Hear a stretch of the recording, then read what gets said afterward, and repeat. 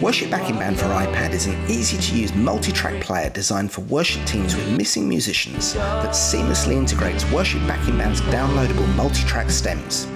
You can mix, mute, or solo any of the 14 instrument stems, loop, skip, or jump around any song section, and even preset the song sections you want to loop or skip before you play the song. You can change key and change tempo, and for seamless transitions between songs, we've built in pad sounds that seek out the right key to modulate into.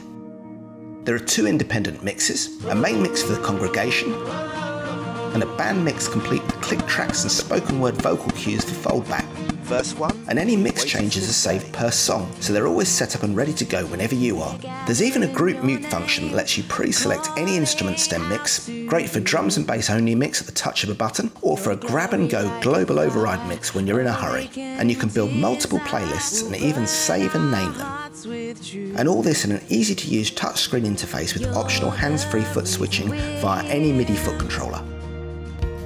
Worship Backing Band has a large library of high quality, great value multi track worship song stems, all recorded by us with dynamic arrangements in congregationally friendly keys using pro session musicians and real instruments.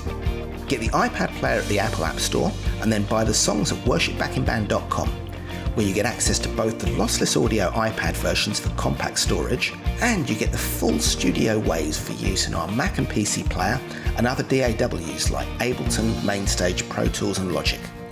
All yours to keep forever, not to rent, at great value prices at worshipbackingband.com.